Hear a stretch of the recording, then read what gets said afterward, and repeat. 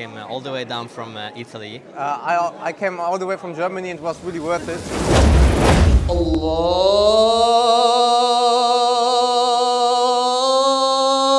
Akbar, Allahu Akbar. Day three healing the Ummah, London. Mashallah, I'm looking forward to it. It's going to be the best of the three days. I came from Uzbekistan and uh, it was one of my dreams to meet this person.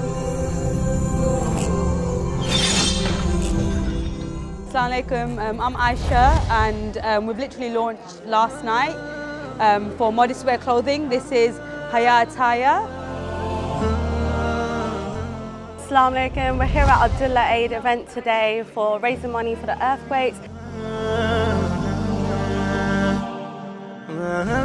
Assalamu alaikum wa rahmatullahi wa barakatuh. Today we're here with Abdullah Aid raising money for the earthquakes in Syria and Turkey.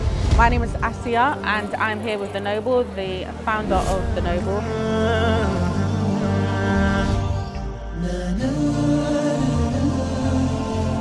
Alhamdulillah, year in, year out, the Abdullah Aid events have grown bigger and stronger with a great team behind us, supporting people of Turkey and Syria.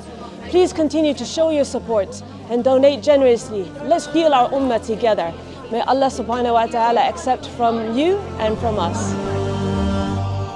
Today with Abdullah Aid, we've got the finest perfumes, the best candles. Assalamu alaikum. We're here with Abdullah Aid. We are Mahamas London. Assalamu alaikum wa rahmatullah. I am Bayan Mahmoud, Deputy Head at Quwwat al-Islam Girls School.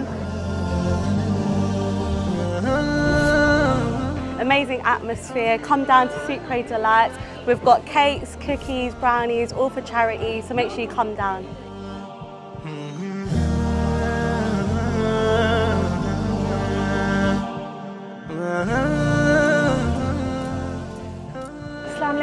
I'm the owner of Handmade by Sabina.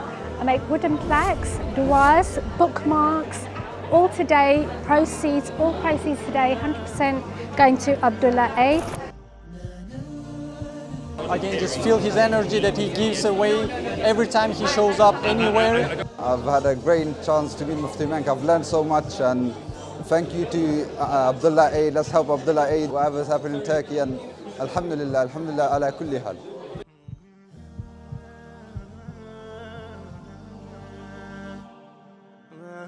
I am so grateful to Allah Almighty and then thankful to all of you, the volunteers and everyone who participated to make this an amazing, overwhelming success. MashaAllah. Three cities, three days, and we've achieved much more than we'd expected. So, Jazakumullah khair.